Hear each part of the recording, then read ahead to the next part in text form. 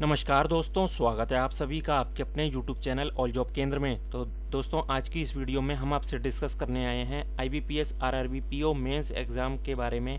R R B P O mains exam का result date क्या रहने वाली है, इसकी एक्सपेक्टेड डेट क्या होगी, और इंटरव्यू शेड्यूल कब से होंगे आपके, और इंटरव्यू के एडमिट कार्ड कब से आएँगे, और फाइनल सिलेक्शन कैसे होगा आपका। इसके लिए आपको क्या क्या करना पड़ेगा फाइनल सिलेक्शन लेने के लिए? मतलब आपको R R B P O officer बनने के लिए क्या स्ट्रैटेजी रखनी पड़ेगी, वो मैं आपको इस वीडियो में बताने वाला हूँ। तो चलिए दोस्तों वीडियो को स्टार्ट करते हैं और अगर उससे पहले आप हमारे चैनल ऑल जॉब केंद्र पे फ़र्स्ट टाइम विज़िट कर रहे हैं तो चैनल को प्लीज़ सब्सक्राइब कीजिएगा इसी प्रकार की बैंकिंग अपडेट के लिए। और वीडियो पसंद आए तो वीडियो को लाइक भी कर दीजिएगा, इसी लाइक से हमें मोटिवेशन मिलता है आपके लिए वीडियो बनाने के लिए। और अपने फ्रेंड सर्कल में वीडियो को शेयर कीजिएगा जितना हो सके, जिससे वीडियो हमारी आप तक पहुँच सके। तो चलिए दोस्तों, अब मैं आपको कुछ क्राइटेरिया बताता हूँ इसके रिगार्डिंग तो दोस्तों, अब हम आपको बताने वाले हैं I B P S R R B P O mains result 2024 की एक्सपेक्टेड डेट क्या हो सकती हैं।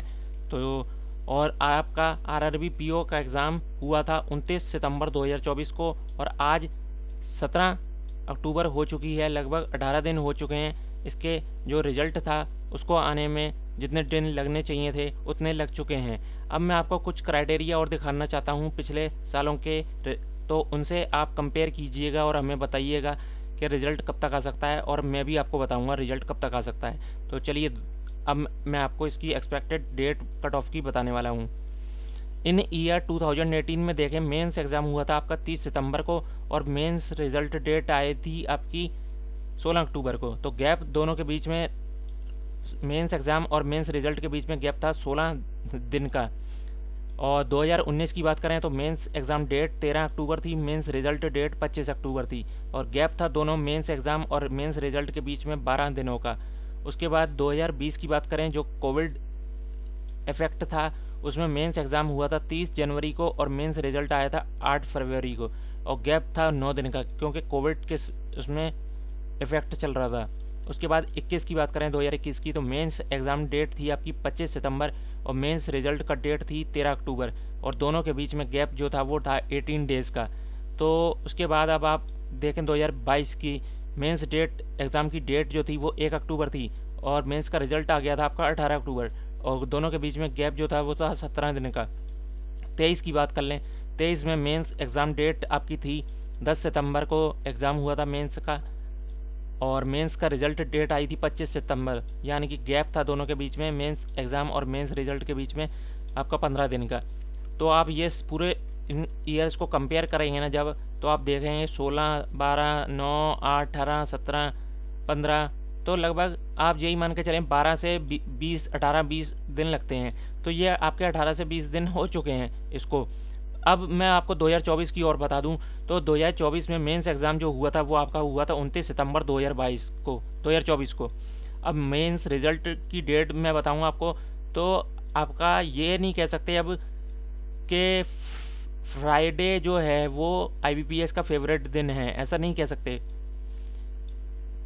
क्योंकि संडे को भी हमें अपडेट देखने को मिली है आईबीपीएस की तरफ़ से, कि आईबीपीएस फ्राइडे को तो एक्टिव रहता ही है तो कल 18 तारीख है तो उसमें तो एक्टिव रहता ही है वो कुछ भी अपडेट देने के लिए। पर आप ये मत मानिए अगर 18 को कल नहीं आता है तो 19-20 को नहीं आएगा ऐसा कुछ नहीं है। संडे को भी हमें अपडेट देखने को मिल चुकी है। तो आपका 18, 19, 20 को भी आ सकता है नहीं तो फिर ये अगर डिले होता है तो 21 से लेकर 27 के बीच में आएगा। और उसके बाद आपके इंटरव्यू के एडमिट कार्ड आ जाएँगे और उसके बाद आपको इंटरव्यू देना पड़ेगा और सिलेक्ट होना पड़ेगा। उसके बाद आपकी ज्वाइनिंग होगी। तो ये पूरा प्रोसेस है आप, आपका।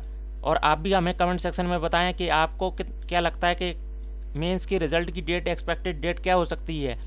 तो ये दोस्तों मैंने आपको यहाँ पे क्लियर कर दिया कि सत्ताईस तक हो सकता है। अगर ज़्यादा से ज़्यादा डिले हुआ वैसे तो अठारह को आना चाहिए। कल नहीं आता है तो अठारह से बीस दिन लगेंगे। संडे भी क्योंकि आईबीपीएस देने लगा है अब चीज़ें अपडेट देने लगा है। तो 21 से लेकर 27 तक आप मान के चलिए। अगर डिले होता है तो। तो ये तो हो गया।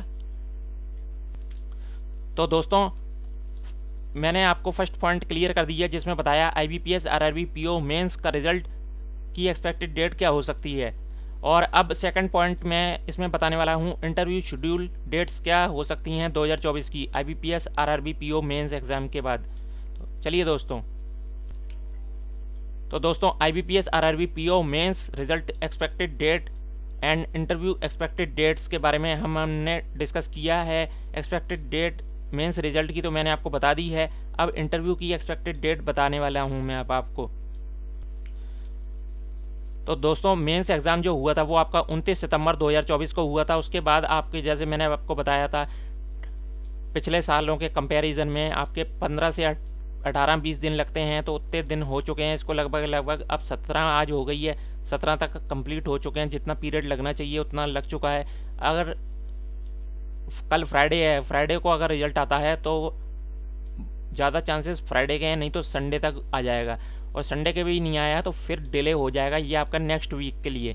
तो नेक्स्ट वीक में जब भी आता है, मैं आपको वीडियो बना के इन्फॉर्म करूँगा तो उसके लिए आप हमारे चैनल को सब्सक्राइब कर लीजिए और नोटिफिकेशन बेल आइकन को भी प्रेस कर लीजिए। चलिए दोस्तों, अब मैं आपको इंटरव्यू शेड्यूल की डेट्स बताता हूँ। इसमें 2022 और 23 का मैं आपको बताऊँगा। मेंस एग्ज़ाम डेट हुआ था एक अक्टूबर 2024 को और उसके बाद मेंस का रिज़ल्ट आया था 18 अक्टूबर 2022 को। तो 17 दिन का गैप मिला था आपको रिज़ल्ट और इसमें आप देख लीजिए।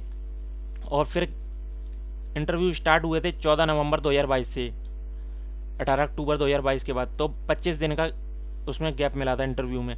उसके बाद 2023 की बात करें तो दोस्तों मेंस एग्ज़ाम हुआ था आपका 10 सितंबर 2023 को और मेंस रिज़ल्ट आया था आपका 25 सितंबर 2023 को।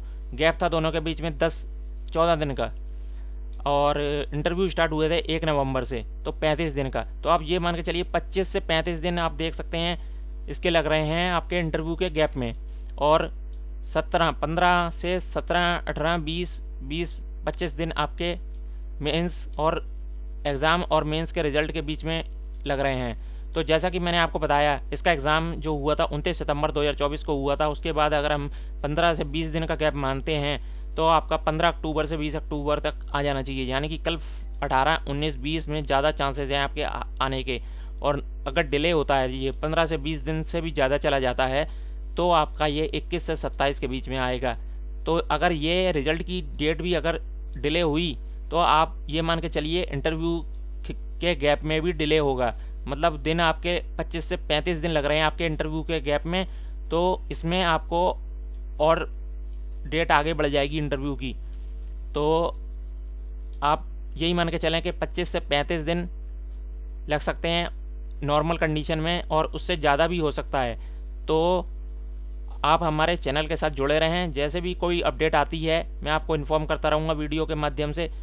तो आप ये देख लीजिए, गैप हम इंटरव्यू में 25 से 35 दिन का लेके चल रहे हैं तो इंटरव्यू आपके स्टार्ट हो जाने चाहिए 14 नवंबर से 19 नवंबर के बीच। ये अगर एक्सपेक्टेड किया जाए तो और डिले होता है तो और आगे डेट बढ़ बढ़ सकती हैं। तो आपको मैं स्टूडेंट्स को यही कहना चाहूँगा, आप स्टूडेंट्स वेट मत कीजिए अपने रिज़ल्ट का। आपने एग्ज़ाम दे दिया प्री एग्ज़ाम मेंस एग्ज़ाम दे चुके हैं आप। मेंस के बाद आपको अब रिज़ल्ट की वेट है। रिज़ल्ट कब आएगा इसका? तो एक्सपेक्टेड डेट मैं आपको बता चुका हूँ, सत्रह हो गई है आज, अठारह, उन्नीस, बीस। नहीं तो फिर इक्कीस से सत्ताईस के बीच में आएगा। ठीक है फ्रेंड्स फिर अगर ये इस रिज़ल्ट में नहीं आया, इसमें अगर डिले होता है तो फिर आपका इंटरव्यू के गैप में भी डिले होगा। तो आपको इंटरव्यू में भी 35 दिन से ज़्यादा लग जाएँगे। तो 14 से 19 नवंबर तक स्टार्ट नहीं होगा, फिर उसके बाद स्टार्ट होगा। तो ये तो आपके मैंने रिज़ल्ट की एक्सपेक्टेड डेट बता दी। और इंटरव्यू की भी आपको वो बता दी मैंने, क्या? कब से स्टार्ट होंगे? इंटरव्यू शेड्यूल भी बता दिया। अब मैं आपको बनाने वाला हूँ थर्ड पॉइंट जो था फाइनल सिलेक्शन कैसे होगा? तो फाइनल सिलेक्शन के लिए दोस्तों, मैं आपको ये बताऊँ, आपने मेंस का एग्ज़ाम दे चुके हैं। अब आप वेट कर रहे हैं इसके रिज़ल्ट का।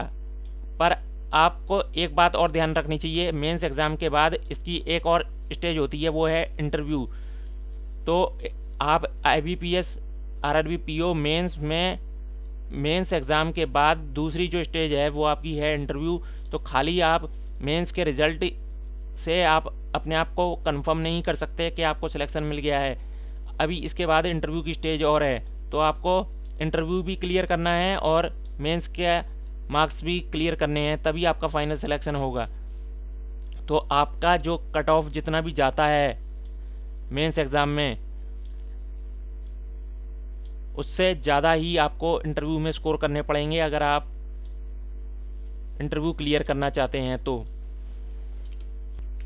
तो दोस्तों, आप ये देख सकते हैं मेंस रिज़ल्ट मेंस रिज़ल्ट खाली आखिरी स्टेज नहीं है। इसके बाद एक स्टेज और है जो है इंटरव्यू की स्टेज उसके लिए आपको रिज़ल्ट आने के बाद आपका इंटरव्यू के कॉल लेटर भी आएँगे आपके पास।